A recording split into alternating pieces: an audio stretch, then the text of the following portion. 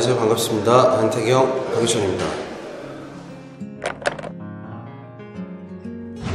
자, 이제 3days 16회까지 촬영을 하면서 액션씬들이 좀 굉장히 많이 있었는데 개인적으로는 이제 액션씬이 이렇게 힘든 거구나라는 걸 처음 느끼게 해줬던 이제 기차에서 가장 먼저 찍었던 액션씬인데 그 씬을 찍으면서 좀 굉장히 많이 힘들었었던 것 같아요. 그때 열심히 찍었고 연기라서 찍기도 했었고 근데 그 부분이 가장 기억에 남고 프로답게 프로다운 모습으로 그런 액션씬들을 선보이고 싶은데 생각보다 안 되는 부분들이 굉장히 많거든요. 그래서 마음만큼 잘 몸이 안 따라줄 때가 많은데 아 이번을 계기로 좀 아, 나중을 대비해서라도 좀 미리 몸을 좀 다져놓고 그런 부분을 또 연습을 미리미리 해두면 아마 더 좋은 그런 액션 부분들을 여러분들께 보여드릴 기회가 있지 않을까라고 생각하고 있습니다.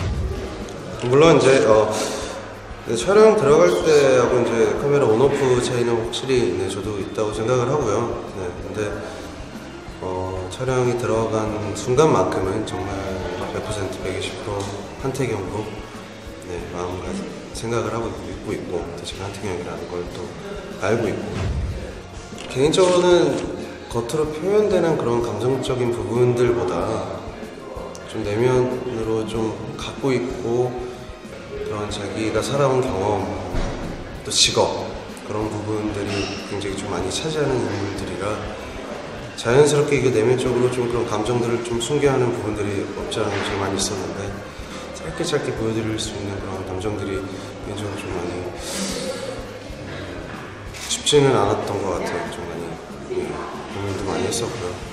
나름 그런 부분들을 최대한 전달하고자 노력하고 있었습니다. 네, 노력했습니다. 우선은 어깨 가장 좀 걱정을 많이 해줬고요. 어깨 걱정과 더불어 액션씬 정말 어, 잘 찍었다 이렇게 액션씬 좀 괜찮더라 이런 반응들이 있었고 어, 지금 멤버들도 지금 뭐 재중형 포타트랑 방송국에 이제 트라이앵글 촬영 때문에 바쁘고 준수도 여러 가지 좀 바쁜데 이 드라마 또 모니터 중간 중간에 해주고 또 와서 좀 그 부분도 힘 받아서 촬영을 잘 했죠.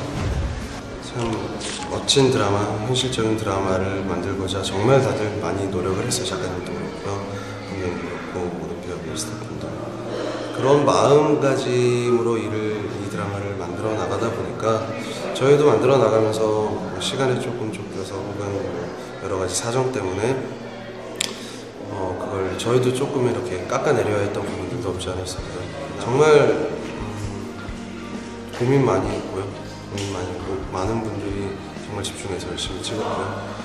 박유찬에게도 굉장히 좋은 특별한 경험이 됐던 것 같고 또 많은 좋은 네, 동료 어, 선배님들 스태프분들 만나서 되게 좋았고 3days